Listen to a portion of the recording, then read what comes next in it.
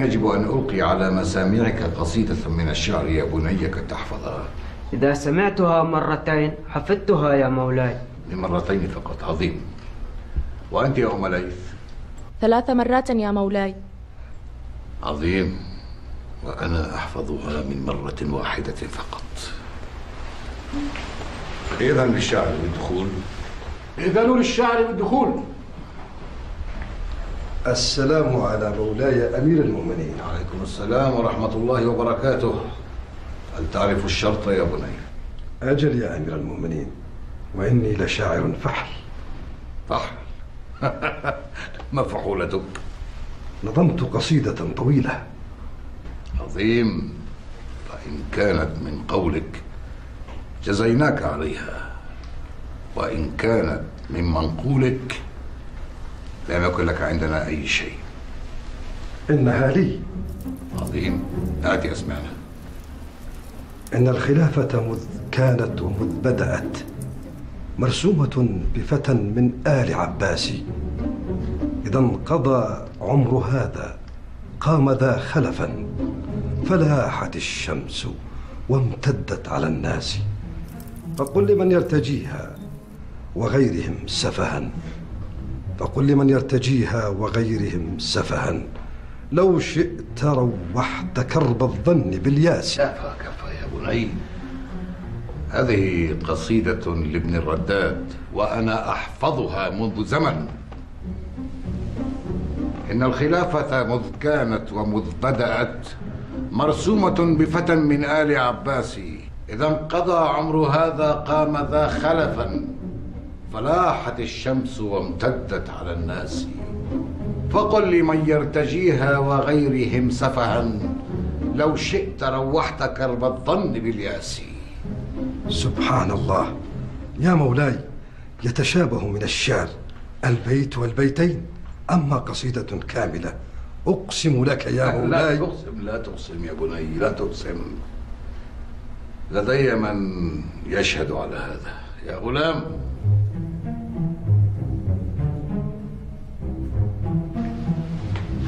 مولاي؟ هل سمعت يا بني بشاعر اسمه ابن رداد؟ نعم يا مولاي فقد مدحكم في قصيدة مطلعها. قل. إن الخلافة مذ كانت ومذ بدأت مرسومة بفتى من آل عباس. يا بني. أقسم بالله إني أحلف كلكم تقولون هذا معشر الشعراء. والله لولا أنني أحب الشعر لجلدتك مئة جلدة. طيب إذا في حالك. إذا في حالك. أمر مولاي.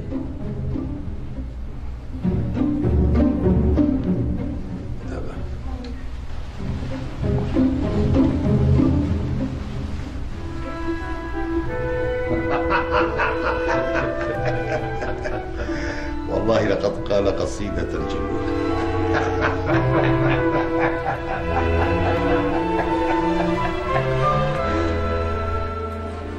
ثم حضرت جارية ألقت قصيدتي. كأنها تحفظها. منذ دهر عجيب. أيمكن أن تكون قد حفظتها من دون قصد وحسبتها لنفسك؟ لست أدري. كل ما أعرفه أنني نظمت قصيدة حفظت قبل أن أنظمها. ها هو الأصمعي. السلام عليكما. وعليكم السلام ورحمة الله وبركاته. ما بكما أيها الأخوان؟ أمر عجيب غريب. خيرا إن شاء الله. ننظم قصائدنا من بليات أفكارنا وخليجات مشاعرنا. ونكتشف بعدها أن ثلاثة يحفظونها عن ظهر قلب. ثلاثة يا أصمعي ثلاثة. وأين حدث هذا؟ في بلاط أمير المؤمنين. في بلاط أمير المؤمنين؟ أجل. لابد أن في الأمر نقشا وحيلة السلام عليكم. أفكر أن باب يا مولاي. هل يعرف الشرط؟ نعم. علمته بالشرط يا مولاي. حسنا. فليدخل.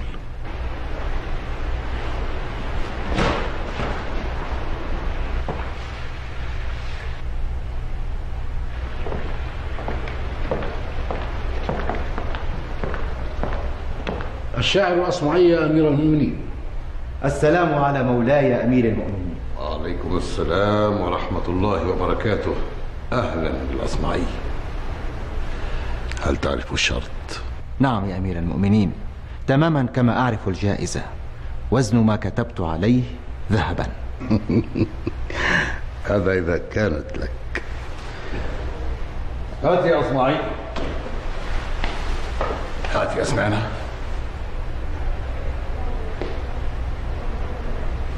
صوت صفير البلبل.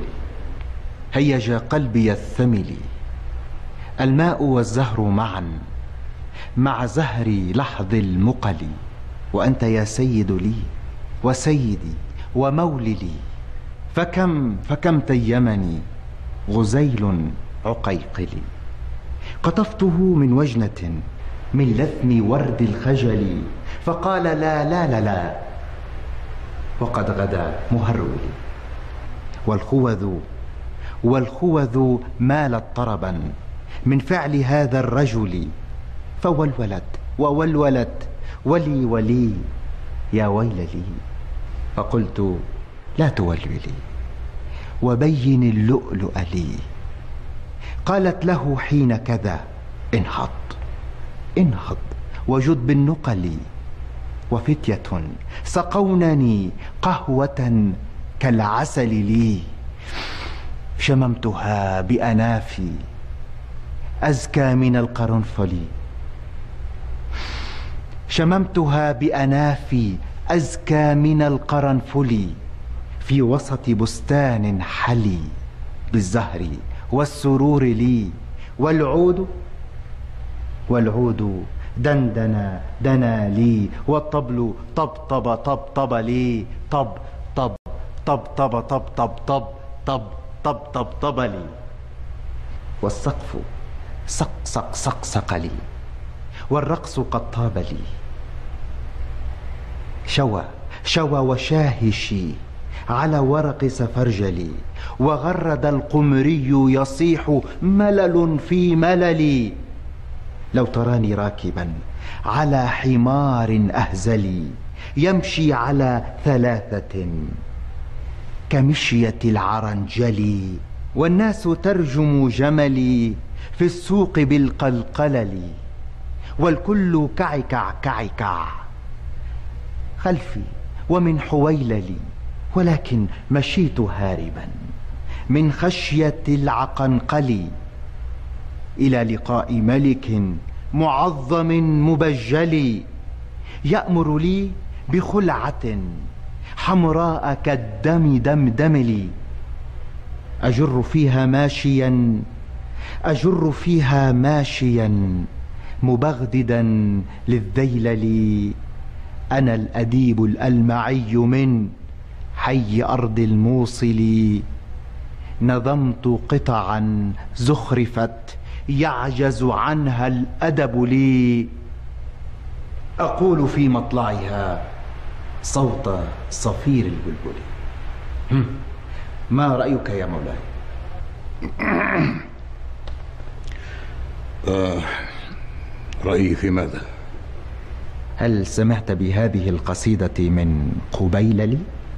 من قبيل لي لا والله ما سمعت بها من قبل ولكن دعني أولا أسال لي يا ربيع. نعم يا مولاي. الغلام والجارية. في الحال يا مولاي.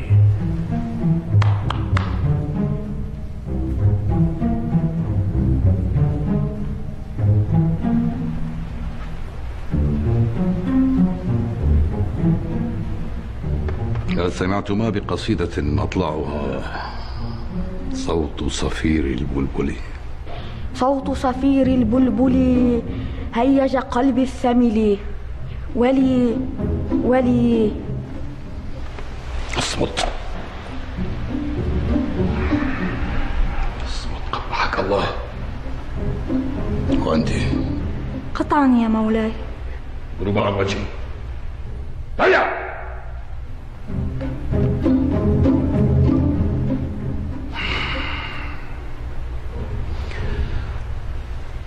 هات يا أصمعي هات قصيدتك حتى نعطيك وزن ما كتبت عليها ذهبا.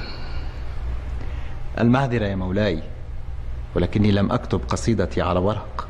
فعلى ماذا كتبتها؟ ورثت عن أبي عمود رخام فنقشت عليه قصيدتي وهو على ظهر ناقتي لا يحملها إلا أربعة من جنودك. عمود رخام نعم. لا أذكر أنكم اشترطتم كتابة القصيدة على ورق. نعم نعم. يا ربيع. نعم يا مولاي.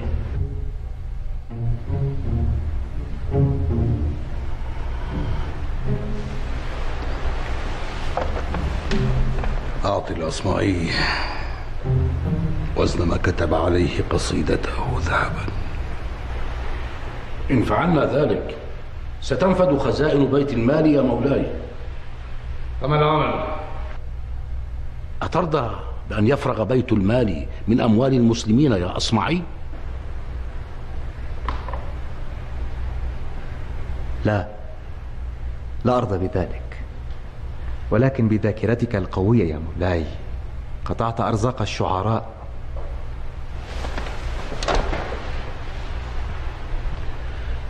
فماذا إذن؟ أتنازل عن حقي يا مولاي ولكن بشرط واحد. أن تعطي الشعراء حقهم في قولهم ومنقولهم.